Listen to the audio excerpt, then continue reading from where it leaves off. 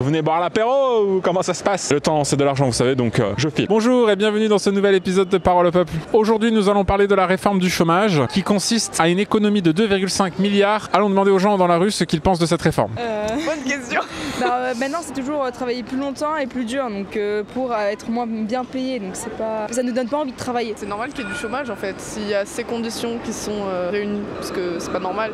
Donc euh, les gens ils râlent. Vous voyez, ça, c'est le genre de réforme qu'on veut cacher avec le voile. Ils veulent que tout le monde travaille comme des esclaves, que si tu travailles plus, t'as plus d'argent. Mais comment tu vis? De toute façon, ils veulent qu'on meure tous par terre dans la rue. Regardez, regardez tous les gens qui meurent dans la rue. C'est n'importe quoi. Ils ont pas d'argent. Il faut donner l'argent. L'argent, c'est rien. C'est- que du papier, vous savez, l'argent. Ils veulent faire des économies sur les pauvres. C'est Robin de Bois inversé. Ils prennent aux pauvres pour donner aux riches. Mais c'est n'importe quoi le système. Faut niquer le système, c'est tout. Le système, il te nique. Alors dès que tu peux niquer le système, bah forcément, les gens, ils le font. C'est du donnant-donnant, tu vois. On s'encule l'un l'autre. Le changement, c'est maintenant. Cette réforme, elle a été pile au moment du débat euh, sur le voile. Je sais pas si c'est une coïncidence, je fais pas partie de la théorie du complot, mais autant y réfléchir quoi. C'était déjà bien comme c'était. Parce que même si on est en plein emploi, en France, 8% ça représente une énorme quantité de personnes. Donc euh, je pense que c'était mieux comme avant pour le coup. Surtout que s'ils vont économiser l'argent, ils vont pas le donner à, par exemple, pour les, les gens euh, qui ont besoin d'argent, ils vont le laisser pour eux. pour Ouais, c'est vrai. pas. Pour euh, coup, augmenter bah, par exemple le budget de l'armée. Enfin, voilà. Le problème avec en France, c'est que quand il y a des réformes, on n'a pas l'impression que l'argent économisé, il est reversé à, à des choses qui conviennent à une large population, vous voyez À méditer, je pense. C'est fainéant de partout. Re- regardez, regardez. S'ils sont là aujourd'hui, c'est qu'ils ne travaillent pas, c'est qu'ils glandent. Et après, ils viennent demander de l'argent, à votre argent. Ils profitent, madame, des profiteurs, de partout. Ils devraient être en train de travailler s'ils veulent de l'argent. Voilà ce que j'en dis. Il y a des pays qui travaillent 45 heures par semaine, madame. Et ils n'ont qu'une semaine de congés payés.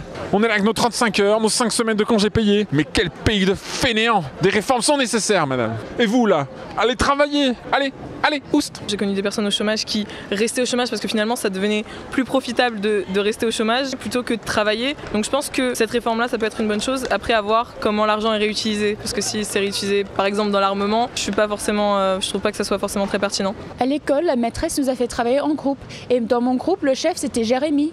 Mais Jérémy, il était trop méchant. Alors je ne voulais pas travailler dans le groupe avec lui. C'est la même chose pour le travail, non? Si on tombe sur un chef qui est vraiment méchant, on devrait avoir le droit de ne plus travailler là-bas.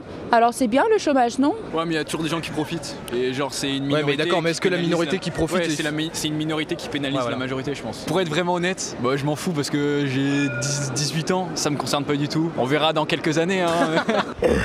Alors, excusez-moi, la, la réforme du chômage. J'étais au, j'étais au bar, il est quoi Il est 2 heures, c'est l'heure de l'apéro.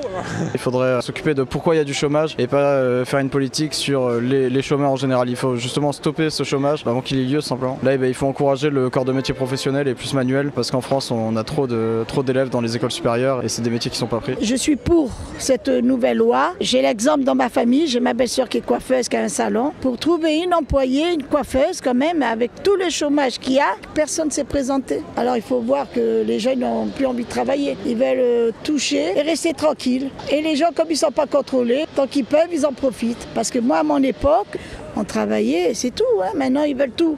Ils veulent tout et ne rien faire. Merci beaucoup d'avoir regardé cette vidéo. Si ça vous a plu, n'hésitez pas à liker, partager et laisser un petit commentaire. Si vous voulez en voir plus, ici ou là-bas. Sinon, abonnez-vous ici.